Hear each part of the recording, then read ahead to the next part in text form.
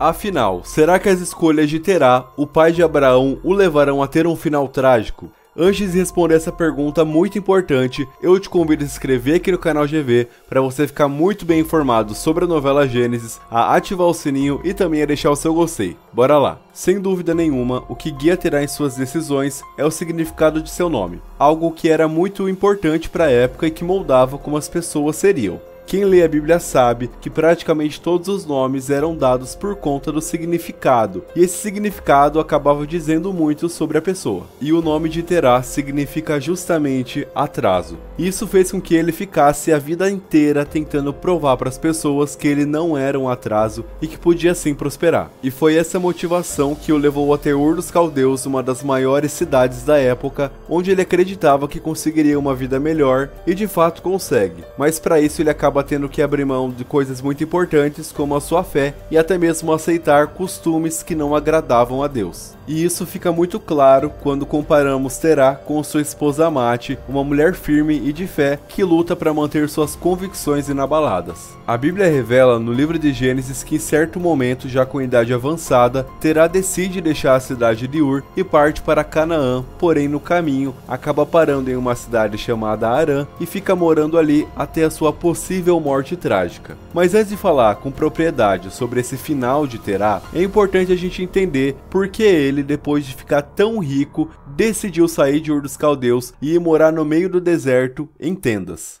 Bem, a Bíblia não revela exatamente o motivo, então o que cabe a nós são especulações. A primeira especulação é que após um dos seus filhos, chamado Arã, morrer ainda jovem em Ur, possa ter feito Terá querer sair dali. Mas a novela também nos apresenta um ponto importante que é o momento em que Abraão destrói uma loja de ídolos. Então vocês podem imaginar só o tamanho do problema que isso vai causar. Afinal, eles queriam matar Amat e Terá simplesmente por eles terem enterrado duas estátuas. Então imaginem só o que eles vão querer fazer com Abraão, que destruiu uma loja com vários ídolos diferentes. Eu particularmente acredito que a saída de Terá de Ur estará ligada a vários fatores. Com o passar dos anos, ele deve ir reconhecendo seus erros, e então, com a morte de Arã e depois o risco de Abraão também morrer, ele com certeza vai ver que a vida ali é insustentável. E então, ele pega suas coisas e parte rumo a Canaã. E vale lembrar aqui para vocês que não foi Deus que mandou Terá sair de Ur e ir para Canaã, mas obviamente que tudo isso fazia parte de um plano divino. Vamos então falar sobre a morte de Terá. Afinal, ele teve um final trágico?